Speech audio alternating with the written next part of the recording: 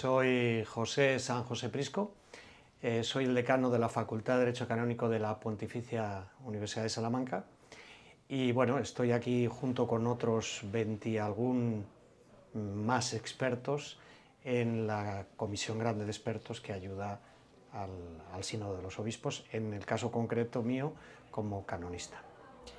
¿Cuál es el principal aporte de los canonistas a este proceso sinodal? Usted en la conferencia decía que por mucho tiempo tanto canonistas como teólogos parecían caminar por senderos diferentes.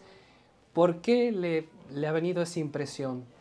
Bueno, porque durante mucho tiempo el derecho parece que se había construido sin mucha reflexión eclesiológica se daba por hecho realmente que lo que estaba era sobre lo que había que asentar las bases de las leyes y ahora pues precisamente para fundamentarlas bien se recurre a la teología porque es el fundamento necesario del derecho. Entonces tiene que haber un diálogo permanente, la teología va evolucionando y también el derecho lo hace y lo tiene que hacer al mismo eh, ritmo que la teología. Al menos en una iglesia constitutivamente sinodal también hay que trabajar a este nivel sinodalmente las diferentes disciplinas que se complementan para poder entre todos encontrar cuál es lo que la Iglesia tiene que hacer hoy, desde el punto de vista de derecho canónico, para evangelizar al hombre y a la mujer de hoy desde lo que la Iglesia es, sin traicionarse a sí misma, pero dando respuestas nuevas a problemas nuevos.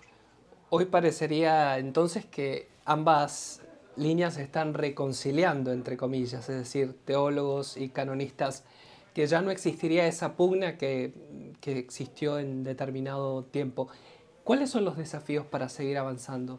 Bueno, en principio, hace años ya que estamos, eh, dije aquí en el briefing que había habido ya unos encuentros y demás, yo en Salamanca en concreto, nuestra facultad, todas las reuniones que tenemos de canonistas hay teólogos en todas. Quiere decir que esto ya es una práctica habitual que no era antes.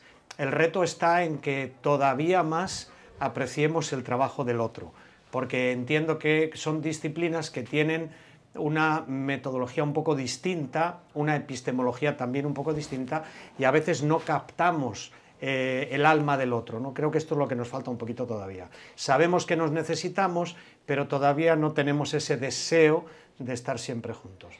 ¿Podría especificarnos cómo es el aporte concreto de los canonistas en el proceso sinodal, es decir, en las discusiones cada día en la Asamblea?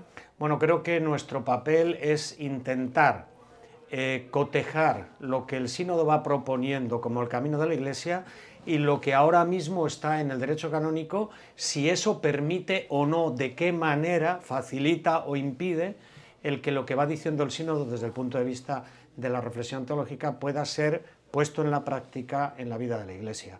Entonces, contrastar lo que hay ya que puede ser vamos a decir, reactivado o, renovado, o lo que no hay y hay que inventarlo, o aquellas cosas que siendo tradicionales están suponiendo ahora mismo a lo mejor un obstáculo o una remora, siempre sabiendo que en estas cosas eh, del derecho eclesiástico casi todo, casi todo eh, puede ser eh, modificado.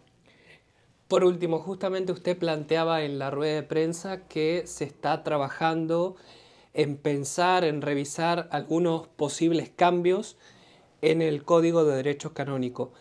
¿Nos podría explicar un poquito en qué consiste ese trabajo?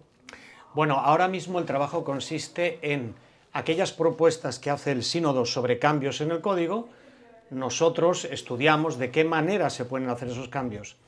Y esos cambios eh, podrían ser realizados con no demasiadas complicaciones en un tiempo relativamente breve. Evidentemente el Código de Derecho Canónico es un documento que promulga el Papa para toda la Iglesia y lógicamente de él depende si se aprueba una cosa u otra porque es suyo. ¿no? La aprobación definitiva. La aprobación es de él, es del romano pontífice y por tanto nosotros podemos hacer una propuesta que se acomode a lo que ha pedido el sínodo y el Papa verá si conviene así o de otra manera. Eso es. Esos serían unos cambios que serían ahora eh, factibles en un tiempo breve. el problema mayor es que mm, la misma estructura del derecho canónico en este momento tiene un carácter demasiado universalista y habría que considerar que el sínodo ha hecho mucha ha reflexionado mucho y ha hecho mucha insistencia sobre la cuestión de las iglesias locales, de las agrupaciones de iglesias locales, de las conferencias episcopales, eh, que están presentes, todo esto está presente en el código, pero está visto desde una perspectiva universalista y convendría darle un poquito la vuelta. Ese trabajo es un trabajo más a largo plazo en el que debería de intervenir mucha más gente y por tanto no es previsible que cambios, por ejemplo, en la estructura del libro segundo hubiera ahora ah, inmediatamente.